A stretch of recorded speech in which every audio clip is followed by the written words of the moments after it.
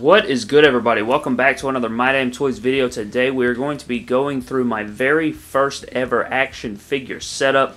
Um, I talked to Bretto live. He hit me up in my live stream and he said to do an action figure setup. And I was like, you know, I don't want to copy your style. And he, um, I talked to him in the DMs and he said it was cool and, you know, whatever. He's a really awesome guy. So guys, go check out Bretto Live's channel. Subscribe to his channel. There is a link in the description below. Go check him out. Very awesome guy. One of the most successful uh, WWE action figure channels on YouTube. So definitely check him out. And shout out to him um, for the idea of this video. But this is our first ever action figure setup, WWE action figure setup. Um, all around the arena here, I have a bunch of figures set up. And for this one, I wanted to have a specific theme.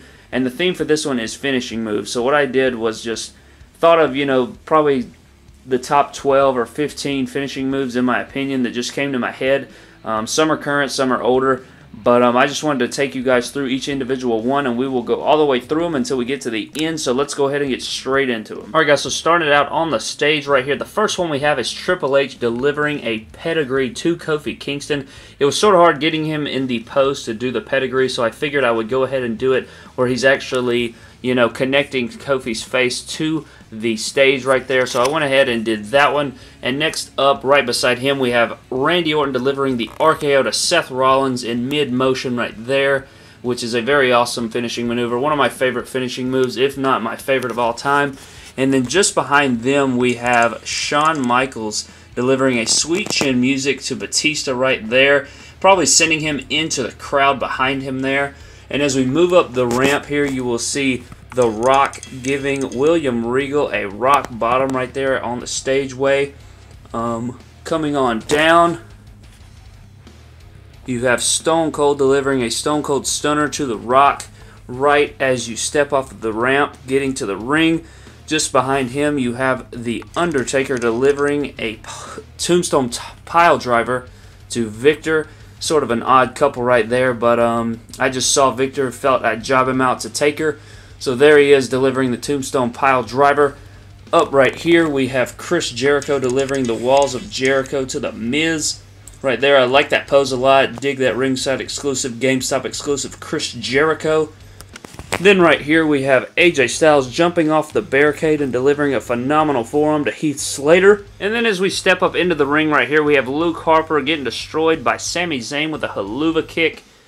Coming down here, you have a beautiful Neville custom by BEW Animations giving the Rings of Saturn to Austin Aries. Uh, Austin Aries, as you know, no longer with WWE, but he can still get jobbed out to Neville right here in MDT.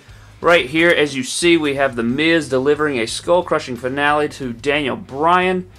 And then just behind him, we have The Club delivering a Magic Killer to Jey Uso. And just behind there, you will see a Brogue kick from Sheamus to Goldust. And if you notice, Sheamus looks like a ghost, like he does during his entrance because of this white light uh, lighting. And then just behind Sami, you have Samoa Joe giving the Coquina Clutch to Cesaro. And just behind that, you have Roman Reigns delivering a spear to Bo Dallas.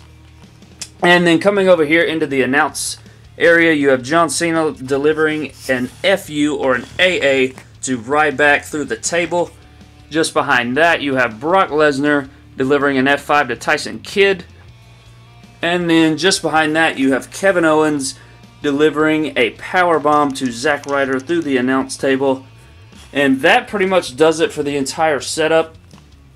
Alright guys, that is going to do it for my first ever WWE action figure setup. I plan on doing more of these, probably with different themes, different uh, WWE superstars, and stuff like that. So if you guys have a recommendation for an action figure setup, please let me know in the comment section below. Again, shout out to Bretto Live for this idea and for the right to uh, use his video idea. But um, thank you guys so much for watching this video. Subscribe for more epic WWE and WWE figure related videos. And I will see you guys in the next video. Thank you so much.